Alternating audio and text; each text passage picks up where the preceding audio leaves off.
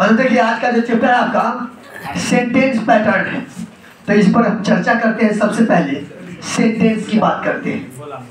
तो रचना के आधार पर सेंटेंस को चार भागों में बांटा गया है। एक बार फिर से सुनेंगे। रचना के आधार पर सेंटेंस को चार भागों में बांटा गया है। On the basis of structures sentences are divided into four parts. चार भाग में कौन कौन है? यहाँ ध्यान से देखेंगे।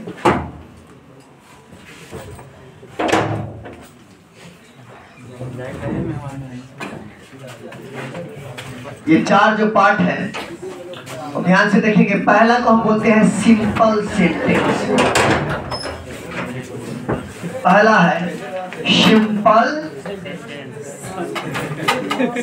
सेंटेंस दूसरा है कंपाउंड सेंटेंस तीसरा है कॉम्प्लेक्स सेंटेंस कॉम्प्लेक्स सेंटेंस और चौथा है जो इस दोनों को मिलाते हैं कंपाउंड कॉम्प्लेक्स मिक्स या इसको हम बोलते हैं मिक्स्ड मिला हुआ। मिक्स्ड सेंटेंस सेंटेंस ध्यान दीजिए हम बताए हैं कि रचना के आधार पर सेंटेंस को चार भागों में बांटा गया है।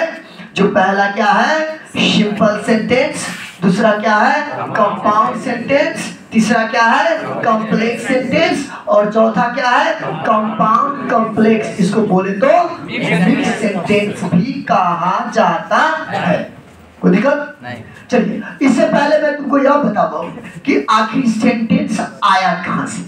सेंटेंस कैसे बनता है? सेंटेंस कहाँ से आया? तो सेंटेंस कहाँ से आया? इसको समझने के लिए हम थोड़ा नीचे आएँगे और यहाँ देखेंगे। सेंटेंस क्लॉज से बनता है। सेंटेंस क्या चीज़ से बनता है क्लॉज क्लॉज के मतलब होता है उपवाक्य। क्लॉज का मतलब क्या होता है? उपवाक्य। और उपवाक्य का मतलब होता है वाक्य का एक भाग। जैसे यहाँ देखिए हम बोल रहे हैं अगर तुम पढ़ोगे और चुप हो गए। तो ये पूरा वाक्य नहीं लिखिएगा नहीं। कोई पूछेगा कि अगर पढ़ेंगे तो क्या हो जाएगा सर? तो अगर तुम पढ़ोगे तो पास हो जाओगे। तो आई में कई गो क्लॉज दो। और वाक्य का एक। यानी एक सेंटेंस में दो या दो से अधिक क्लॉज हो सकता है। दूसरा अगर तू न अगर तू नहीं पढ़ोगे तो यह एक क्लॉज है। एक क्लॉज है। अगर तू नहीं पढ़ोगे तो एक क्लॉज है। तो अगर तू नहीं पढ़ोगे तो मैं तुम्हें थूलूँगा तो ये वो वाक्य हो गया ना? एक वाक्य हो गया। और इस वाक्य में क्लॉज कितना है? दो दो। तो क्लॉज का मतलब होता है उपवाक्य क्लॉज का क्लॉज का मतलब होता है उपवाक्य।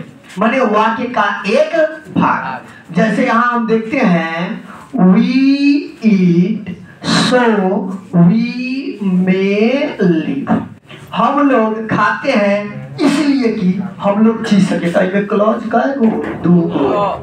कितना क्लॉज है? दो क्लॉज है। ठीक है? थोड़ा सा तबाह हो गया। अच्छा लो। तो यहाँ देखो। तो इसमें कितने क्लॉज है? दो क्लॉज है। We eat so we may live the clause दो गो सेंटेंस पूरा मिला के कह को? एक ही सेंटेंस है। तो क्लॉज किसे कहते हैं समझ में आ गया? क्लॉज के मतलब होता है उपवाक्य वाक्य का एक चलिए अब एक क्वेश्चन और आया कि क्लॉज आखिर बनता कहाँ से? जैसे सेंटेंस बना कहाँ से? क्लॉज से तो क्लॉज कहाँ से बनता? है चलिए तो यहाँ देखिएगा क्लॉज बनता है बुआ कंजंक्शन से।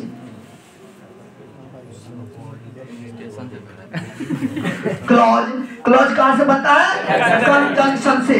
यहाँ देखिए यह कंजंक्शन से बना क्लॉज आ क्लॉज से बना सेंटेंस क्लॉज से बना सेंटेंस चलिए कंजंक्शन की बात करते थे। यहाँ कंजंक्शन के मुख्य रूप से दो भागों में बांटा गया कंजंक्शन को मुख्य रूप से यहाँ पर हम दो भागों में रखते हैं। ध्यान देंगे थोड़ा सा एक होता है कोऑर्डिनेटिंग कोऑर्डिनेटेड कंजंक्शन और और एक होता है subordinating conjunction subordinating conjunction conjunction ध्यान दीजिए। कंजंक्शन अब एक क्वेश्चन और हो सकता है कि सर कंजंक्शन से कहा क्या कंजंक्शन कहाँ से आया? तुम्हारे दिमाग में ऐसे भी हो सकता है कि सेंटेंस कहाँ से आया? तो क्लॉज से। क्लॉज कहाँ से आया? कंजंक्शन से। और कंजंक्शन कहाँ से आया?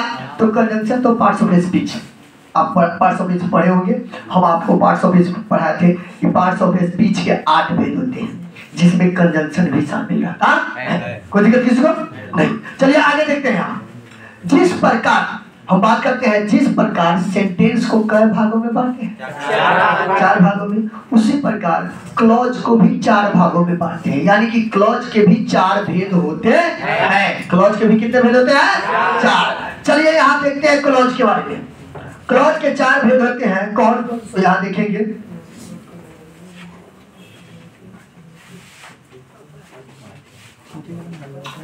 एक होता है वो प्रिंसिपल क्लॉज इसकी चर्चा हम बहुत बार किए हुए हैं। प्रिंसिपल को हम एक और नाम से जानते हैं। प्रिंसिपल क्लॉज को हम मेन क्लॉज भी कहते हैं। कोई दिक्कत है? प्रिंसिपल या मेन? पहला ये हो गया। दूसरा हो गया हो कोऑर्डिनेट क्लॉज। क्या कहेंगे इसको? दूसरा है कोऑर्डिनेट क्लॉज कौन है? कोऑर्डिनेट क्लॉज सीएल का मतलब यहाँ हो गया क्लॉज तीसरा है सबॉर्डिनेट क्लॉज क्या पढ़ेंगे इसको? सबॉर्डिनेट क्लॉज और चौथा देखेंगे। चौथा है पैरेंथेटिकल क्लॉज चौथा क्या है? पैरेंथेटिकल क्लॉज तो यहाँ भी क्लियर हो गया। जिस प्रकार सेंटेंस के कितने भेद होते हैं? चार। ठीक उसी प्रकार यहाँ क्लॉज के कितने भेद होते हैं? चार। कौन कौन होता है? थोड़ा सा ध्यान से देखेंगे। पहला क्या है? प्रिंसिपल या मेन क्लॉज दूसरा क्या है? कोऑर्डिनेट क्या पढ़ेंगे इसको? कोऑर्डिनेट ध्यान देंगे क्या पढ़ेंगे इसको? कोऑर्डिनेट क्लॉज और तीसरा क्या है? सुबॉर्डिनेट क्लॉज और चौथा क्या है? पैरेंथेटिकल क्लॉज क्लॉज समझ में आ गया? सेंटेंस समझ में आ गया? अब चलिए ये बताना है तुमको। अब क्या समझाना वो समझिए। प्रिंसिपल या मेन का मतलब ही होता है मुख्य। ध्यान दीजिएगा। प्रिंसिपल या मेन का मतलब होता है मुख्य। यानी मुख्य प्रिंसिपल या मेन इसको इसलिए कहा गया। कि दुनिया का जितना भी सेंटेंस बनता है, सब में यह शामिल रहता है। इसलिए इसको प्रिंसिपल या मेन क्लॉज कहते हैं। अब यहाँ ऐसे क्वेश्चन आएगा कि प्रिंसिपल क्लॉज या मेन क्लॉज किस किस वाक्य में पाया जाता है? या प्रिंसिपल या मेन क्लॉज किस किस वाक्य में रहता है? तो प्रिंसिपल या मेन क्लॉज एक ऐसा क्लॉज होता है जो यहाँ सारे वाक्यों में पाया जाता है। ये प्रिंसिपल क्लॉज, सारे वाक्यों में पाया जाता है। चाहे वह सिंपल सेंटेंस हो, चाहे वह कंपाउंड सेंटेंस हो, चाहे वह कॉम्प्लेक्स सेंटेंस हो, चाहे वह कंपाउंड कॉम्प्लेक्स सेंटेंस हो या मिक्स सेंटेंस हो। तो एक बात तो क्लियर हो गई। इसके लिए अब सोचना नहीं है। क्वेश्चन आएगा कि प्रिंसिपल क्लॉज किस सेंटेंस में पाया जाता है? तो प्रिंसिपल क्लॉज दुनिया के सब सेंटेंस में पाया जाता है। लगभग। कोई दिक्कत है? किसी को? नहीं। चलिए आगे चलते हैं। अब फिर थोड़ा सा बैक आइए।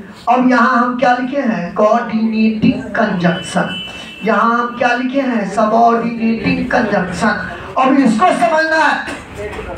कोऑर्डिनेटिंग कंजंक्शन से जो क्लॉज बनता है, ध्यान दीजिएगा। कोऑर्डिनेटिंग कंजंक्शन से जो क्लॉज बनता है तो कोऑर्डिनेटिंग कंजंक्शन से बनने वाले क्लॉज को कोऑर्डिनेट क्लॉज कहा जाता है। एक क्वेश्चन आएगा कि बुआ कोऑर्डिनेट क्लॉज किसे कहते हैं?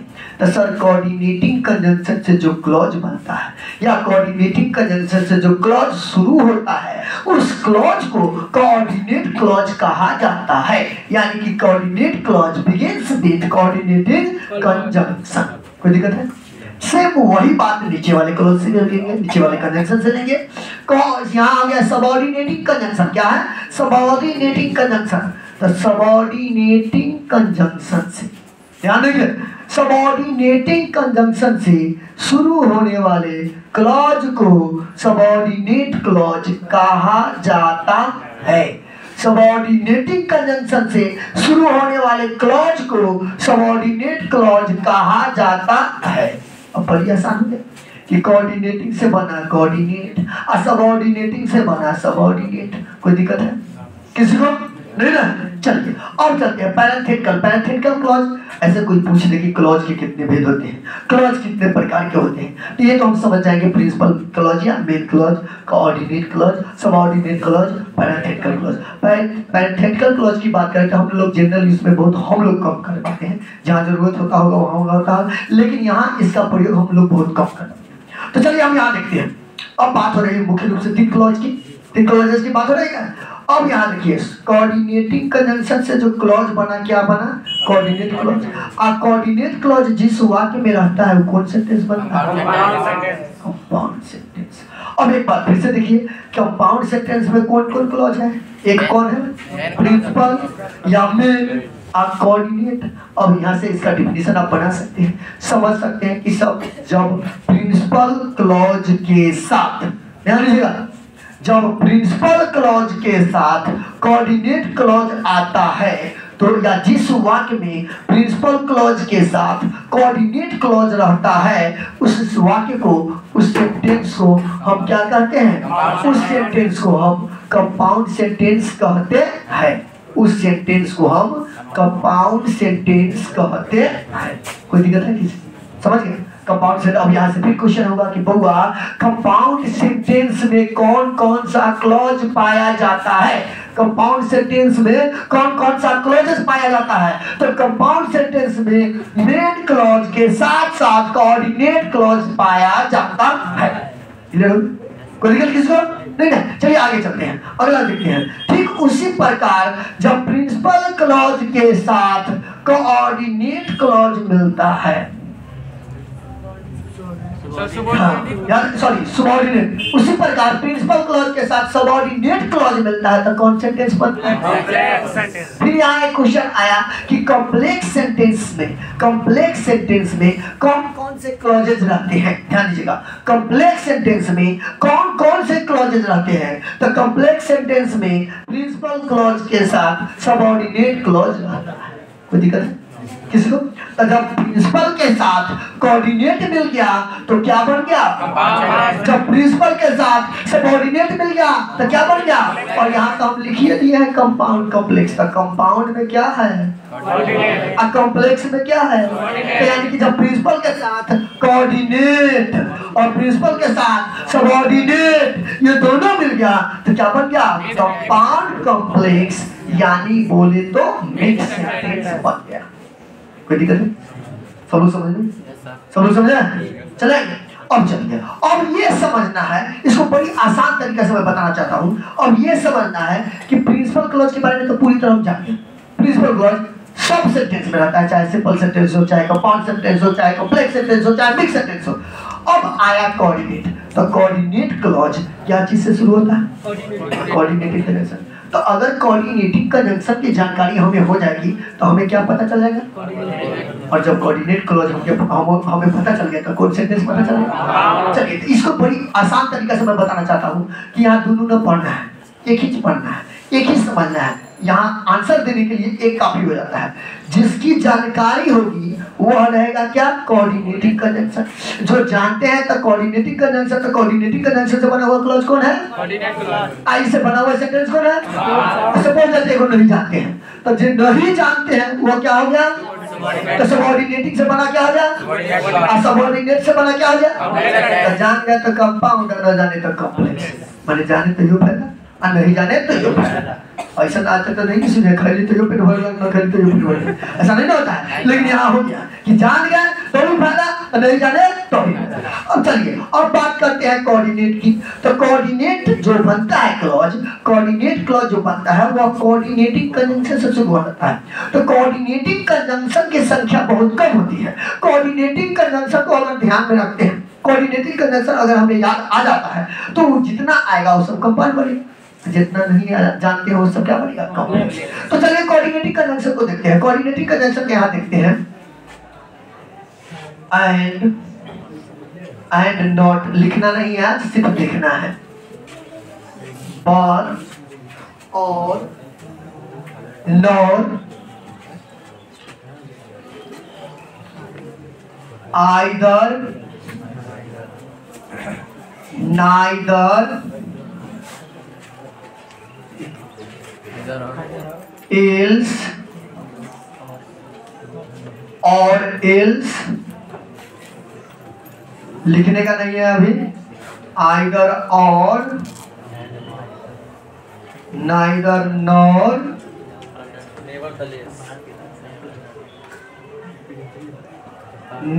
nevertheless nonetheless as well as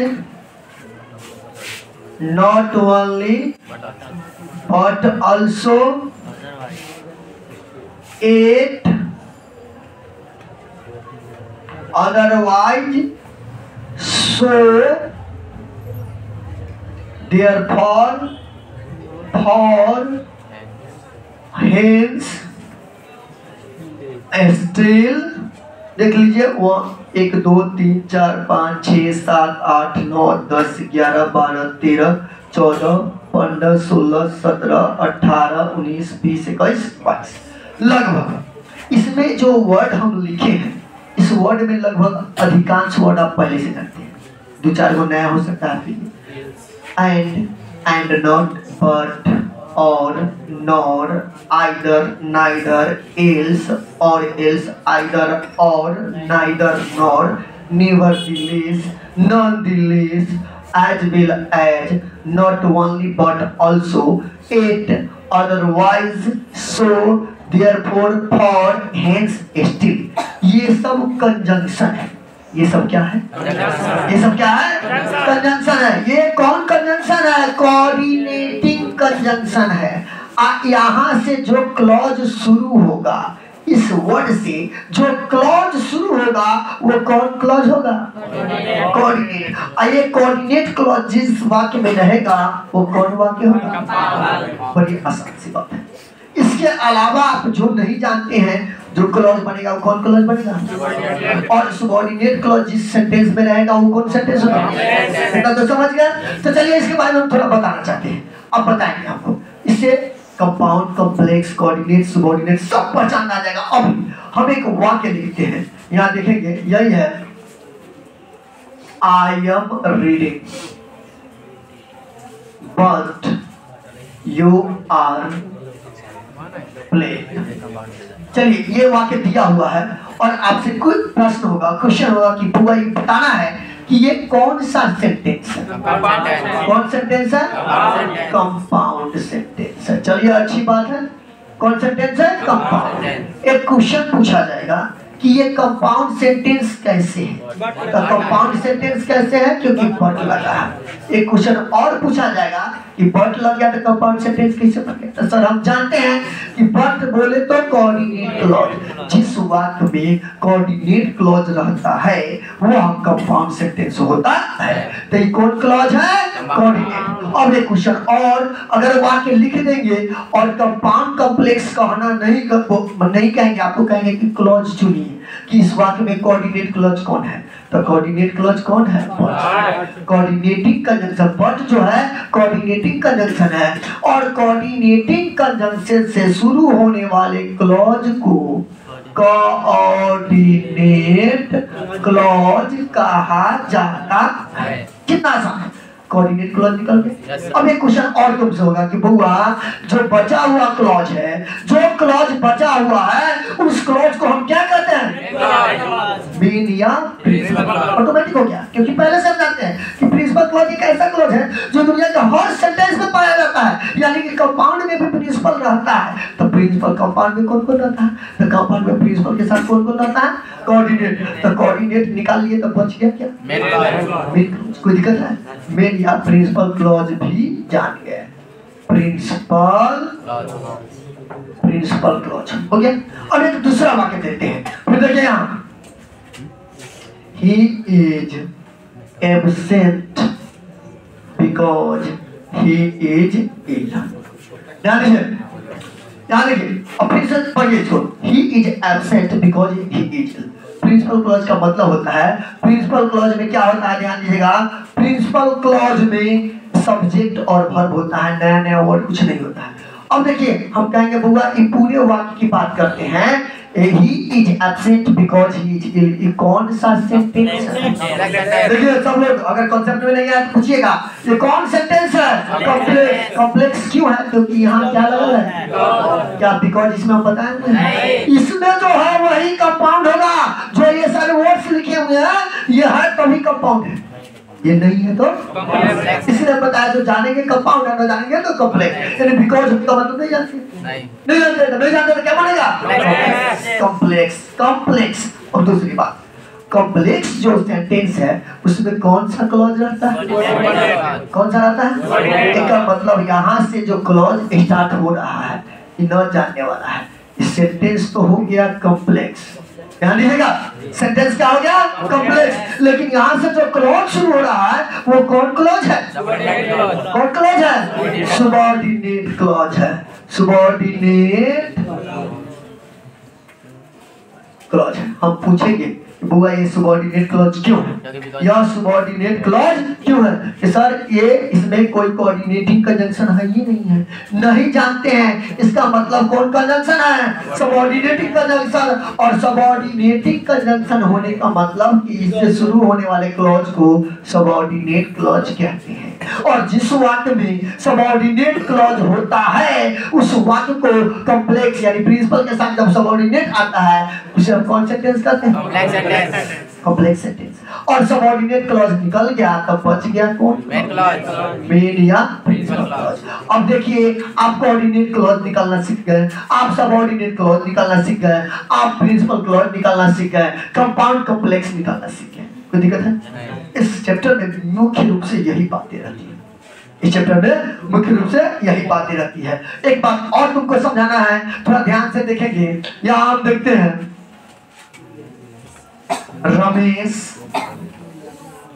eats mango Ramesh eats a mango इसमें टाइम एंड टेंस में भी बताए थे यह क्या है? सब्जेक्ट यह क्या है? वर्ब यह क्या है? ऑब्जेक्ट ये बात तो पहले से जानते हैं। सब्जेक्ट वर्ब ऑब्जेक्ट और एक और पार्ट होता है जो देखना है। एक होता है सब्जेक्ट और एक होता है प्रेडिकेट इसको मोटा मोटी तौर पर समझने के लिए हम ऐसे भी समझा सकते हैं कि सर सब्जेक्ट वर्ब ऑब्जेक्ट तो जानते थे लेकिन सब्जेक्ट प्रेडिकेट नहीं जानते। कि सब्जेक्ट प्रेडिकेट क्या होता है? ये बहुत इंपॉर्टेंट बात है। तो सब्जेक्ट प्रेडिकेट को समझने के लिए इतना काफ़ी हम लिख रहे हैं थोड़ा सा समझ जाइए। रमेश इट्स को यहाँ कुछ दिखाई दे रहा है? देखा सब्जेक्ट में रमेश हो गया वर्ब में क्या हो गया? इट्स हो गया। और ऑब्जेक्ट में क्या होगा? लेकिन जब सब्जेक्ट प्रेडिकेट करते हैं तो सब्जेक्ट तो है? क्या है? यानी कि सब्जेक्ट के छोड़कर बचा हुआ पार्ट को सब्जेक्ट के छोड़कर बचे हुए पूरे पार्ट को हम क्या कहते हैं। तो सब्जेक्ट प्रेडिकेट और सब्जेक्ट वर्ब ऑब्जेक्ट में अंतर समझ गए? सर सब्जेक्ट वर्ब ऑब्जेक्ट में वर्ब अलग हो जाता है ऑब्जेक्ट अलग हो जाता है। लेकिन जब सब्जेक्ट प्रेडिकेट की बात करते हैं तो सब्जेक्ट के छोड़कर जो भी पार्ट बन जाता है उसे हम प्रेडिकेट के नाम से जानते हैं। कोई दिक्कत है? किसको कोई दिक्कत है? सब समझ रहे हैं? तो चलिए एक बार फिर से हम यहाँ देखेंगे यहाँ देखेंगे। रचना के आधार पर सेंटेंस पैटर्न की बात कर रहे हैं। फिर से हम देखना चाहते हैं रचना के आधार पर हम सेंटेंस को कई भागों में बांटते हैं। चार भागों में एक होता है सिंपल सेंटेंस एक होता है कंपाउंड सेंटेंस एक होता है कॉम्प्लेक्स सेंटेंस एक होता है कंपाउंड कॉम्प्लेक्स जिसे मिक्स सेंटेंस भी कहा जाता है। लेकिन सेंटेंस की बात करते हैं तो सेंटेंस बनता है क्लॉज से, और क्लॉज बनता है कंजंक्शन से। कंजंक्शन को हम मुख्य रूप से कई भागों में बांटते हैं। दो भागों में एक होता है कोऑर्डिनेटिंग कंजंक्शन और एक होता है सबॉर्डिनेटिंग कंजंक्शन तो कोऑर्डिनेटिंग यहाँ फिर आए, थोड़ा क्लॉज को देखेंगे। क्लॉज के भी चार भेद होता है। क्लॉज के चार भागों में बांटा जाता है। कौन कौन है सो देख लेंगे। एक होता है मेन या प्रिंसिपल क्लॉज मेन या प्रिंसिपल क्लॉज इसका नाम इसलिए पड़ा है कि ये हर वाक्य में पाया जाता है। लगभग दुनिया के सारी वाक्य में, सारे वाक्यों में पाया जाता है। इसलिए मेन या प्रिंसिपल क्लॉज कहते हैं, क्योंकि इसके बिना वाक्य का बनना संभव नहीं हो पाता है। तो ये सिंपल सेंटेंस में भी रहता है कंपाउंड सेंटेंस में भी रहता है कॉम्प्लेक्स सेंटेंस में भी रहता है कंपाउंड कॉम्प्लेक्स या मिक्स सेंटेंस में भी रहता है। उसके बाद हम देखते हैं coordinate clause subordinate clause parenthetical clause clause के भी चार भेद हो गए तो यहाँ देखिए कंजंक्शन को जो हम दो भागों में मुख्य रूप से बांटे हैं तो कोऑर्डिनेटिंग कंजंक्शन से जो क्लॉज शुरू होता है, उसे हम कोऑर्डिनेट क्लॉज कहते हैं। उसी प्रकार सबऑर्डिनेटिंग कंजंक्शन से जो क्लॉज शुरू होता है, उसे हम सबऑर्डिनेट क्लॉज कहते हैं। तो यहाँ देखिएगा कोऑर्डिनेटिंग कंजंक्शन की संख्या लिमिटेड होता है, जो यहाँ इस प्रकार से है। And and not but or nor either, neither, else, or else, either, or, neither, nor, nevertheless, nonetheless as well as not only but also it otherwise so therefore for hence ये सब कोऑर्डिनेटिंग कंजंक्शन है और इससे शुरू होने वाले clause को हम कोऑर्डिनेट क्लॉज कहते हैं। जिस वाक्य में ये क्लॉज पाया जाएगा प्रिंसिपल के साथ, उस वाक्य को, उस सेंटेंस को हम क्या कहेंगे? कंपाउंड सेंटेंस कहेंगे। एक छोड़ करके, इन सारे कंजंक्शंस को छोड़ करके, जो अगर आता है, वो क्या कहलाता है? सबऑर्डिनेट क्लॉज क्योंकि वो किससे बना हुआ रहता है? सबऑर्डिनेटिंग कंजंक्शन से बना हुआ रहता है। सबऑर्डिनेटिंग कंजंक्शन से बने हुए क्लॉज को सबऑर्डिनेट क्लॉज कहते हैं। और जिस वाक्य में सबऑर्डिनेट क्लॉज होता है प्रिंसिपल के साथ, उसे हम क्या कहते हैं? कॉम्प्लेक्स सेंटेंस कहते हैं।